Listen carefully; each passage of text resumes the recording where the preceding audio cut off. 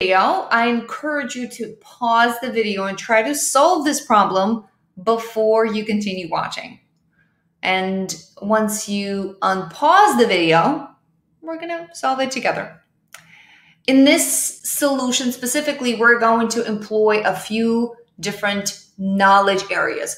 We're gonna need some knowledge areas from algebra, we're going to need some geometry. So this is like a good intersection of math knowledge. All right. What we're told is that the measure of AOB is twice the measure of BOC. Some of my students have a hard time translating words into mathematical equations. And it's not clear is it 2 times AOB equals BOC or is it AOB equals 2 times BOC? So here's a trick.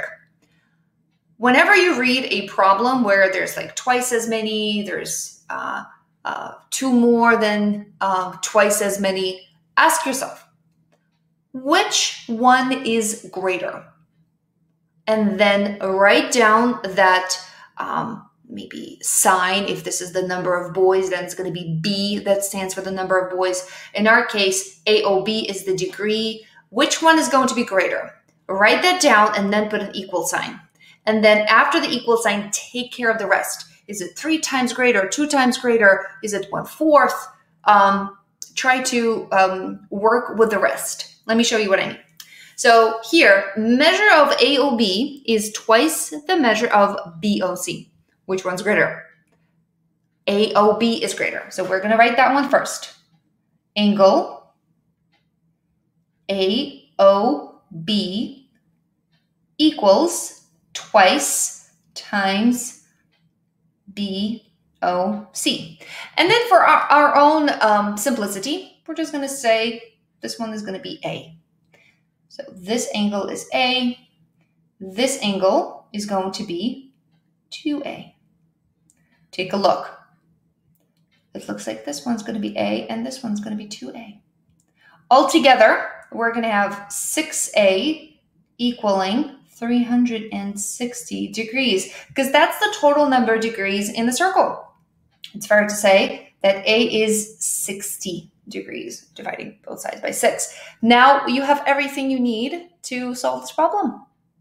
And now you can use the proportionality of circles formula where 60 over 360 is equal to what we need, which is the area of a sector, I'm just going to call it x, over the area of a circle. But you may be wondering, Katya, but they didn't tell us what the area of a circle is. You know what the area of a circle is as long as you know a radius. And they give you the radius right here. They say that it is 3. And the area of a circle is pi r squared, which means 9 pi is your area of a circle.